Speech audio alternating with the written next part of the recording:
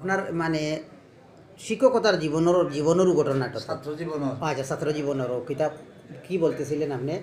লালা মাল্টিপারপাসর? ও কইয়ে দেখো আচ্ছা সংক্ষেপে কইব লালা মাল্টিপারপাসর স্কুলের কিতা কইছিলা? প্রিন্সিপাল আসলাম আমি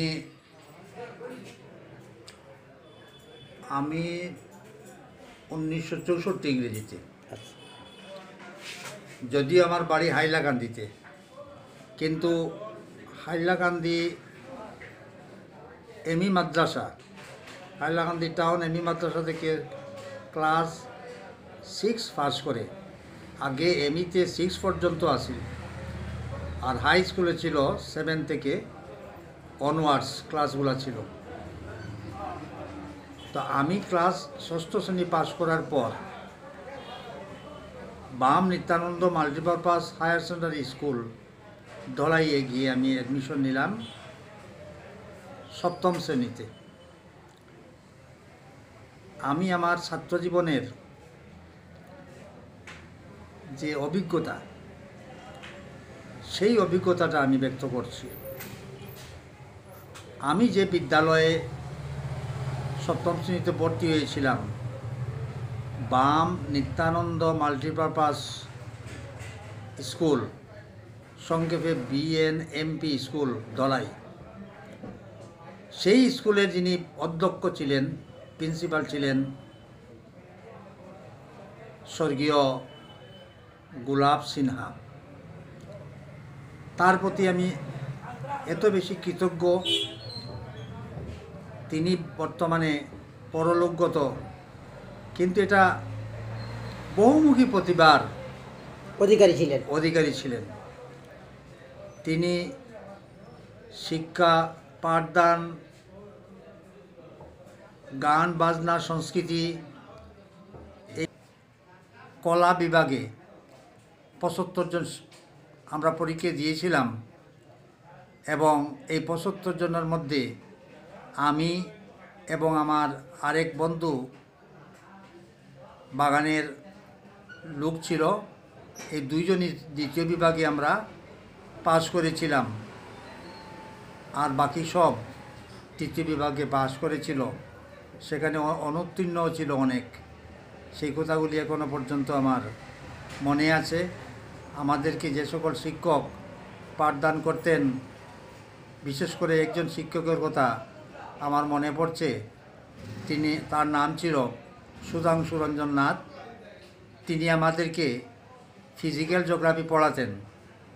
হায়ার সেকেন্ডারি ক্লাসে জিওগ্রাফি ফার্স্ট পেপার এবং সেকেন্ড পেপার এই দুই পেপার ছিল। তিনি ফিজিক্যাল জিওগ্রাফি যেটা, সেই ফিজিক্যাল জিওগ্রাফি তিনি পড়াতেন। বিশেষ করে বায়ুর চাপ, বায়ুমণ্ডল। তিনি এত সুন্দরভাবে পাঠদান করতেন ক্লাসের মধ্যে। এবং তার ক্লাস যদি সব ছাত্র অনুসরণ করে, তাহলে তাকে আর বই পড়ার কোনো প্রয়োজন থাকতো না। তিনি জলের মতন পরিষ্কার করে সেই ফিজিক্যাল জিওগ্রাফির মতো একটি কঠিন বিষয় তিনি ক্লাসের মধ্যে উপস্থাপন করতেন। আমি সেটা খুব মনোযোগ মনোযোগ সহকারে আমি সেটা অনুসরণ করতাম এবং সেটা আমার এখনও মনে আছে। আমি কোনোদিন মুখস্থ করে পরীক্ষায় বসিনি। আমার একটা বিশেষত্ব ছিল, আমি নিজে থেকে নিজের ভাষায়, নিজের মাতৃভাষায় আমি উত্তর দিতাম এবং নিজের যে উপলব্ধি, নিজের যে জ্ঞান, সেটা নিজের ভাষায় আমি প্রকাশ করতাম। আরেকজন শিক্ষক ছিলেন, তার নাম ছিল কমলাক্ষ দেবক্রৌড়ী তিনি আমাদেরকে পৌরবিজ্ঞান পড়াতেন। এখনও মনে আছে, তিনি পৌরবিজ্ঞান পড়াতে গিয়ে আমাদেরকে দিয়েছিলেন যে পৌরবিজ্ঞান কি, রাষ্ট্রবিজ্ঞান কি, রাষ্ট্রের সংজ্ঞা কি, রাষ্ট্র রাষ্ট্র হতে হলে কি কি উপাদানের প্রয়োজন। এইগুলি জিনিস তিনি এত সুন্দরভাবে ক্লাসের মধ্যে তিনি পাঠদান করতেন, যেটার জন্য আমাদেরকে আর বই পড়ার প্রয়োজন থাকতো না। আমরা সেই অভিজ্ঞতা, সেই জিনিসটা এত বেশি হৃদয়ঙ্গম করতাম যে আমরা নিজের বাসায় আমাদের যে অভিজ্ঞতা, আমাদের যে জ্ঞান, সেটা আমরা লিখতে পারতাম। তো অনেক অভিজ্ঞতা আছে, সেগুলি সময়ের দরকার। তা আমার ছাত্র জীবনের বিদ্যালয় জীবনের যে সামান্য একটা অভিজ্ঞতা, সেই অভিজ্ঞতাটা আমি তুলে ধরলাম। এই জন্য তুলে ধরলাম যে আমাদের বর্তমান যে ভবিষ্যৎ প্রজন্ম, এই ভবিষ্যৎ প্রজন্মের যে সকল শিক্ষার্থী, যে সকল ছাত্রছাত্রী, তাদের উদ্দেশ্যে আমার ছাত্র জীবনের অভিজ্ঞতাটা তুলে ধরলাম। এখান থেকে অনেক কিছু শিকার আছে, জানার আছে।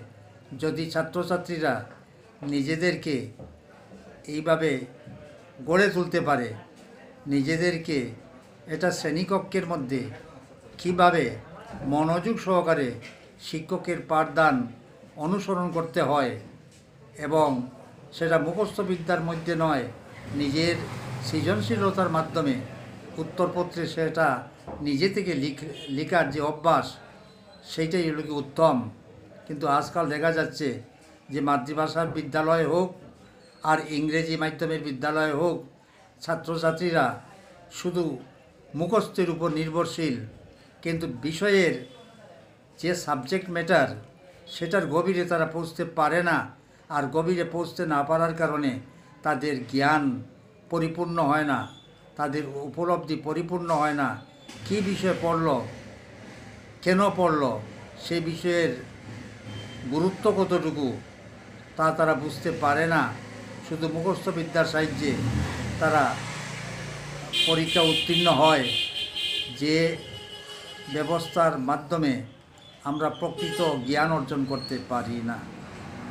ধন্যবাদ। আমি, আপনি এখানে বেশ কয়েকটি শিক্ষণীয় কথা রয়েছে। তার মধ্যে দুটি উল্লেখযোগ্য হচ্ছে।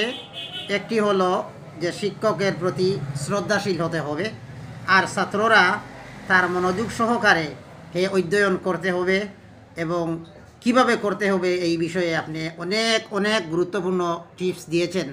তাই আমি মনে করব ছাত্রছাত্রীদের জন্য আপনার এই যে টিপসগুলি দারুণ উপকারে আসবে। তাই আমি আপনাকে, আমার চ্যানেলের পক্ষ থেকে আমি অশেষ অশেষ ধন্যবাদ জ্ঞাপন করে আমি ভিডিওটি পরিসমাপ্তির দিকে যাচ্ছি। তো আপনারা এই ভিডিওটি বেশি করে শেয়ার করে সর্বত্র যেন ছড়িয়ে দেওয়ার জন্য এবং আমাদের নবপ্রজন্ম যাতে এইটা থেকে শিক্ষা অর্জন করতে পারে অনেক গুরুত্বপূর্ণ টিপস। এই লক্ষ্যমাত্রা নিয়ে আমি ভিডিওটি পরিসমাপ্তির দিকে যাচ্ছি। Jam creation, Bangla news channel. ধন্যবাদ।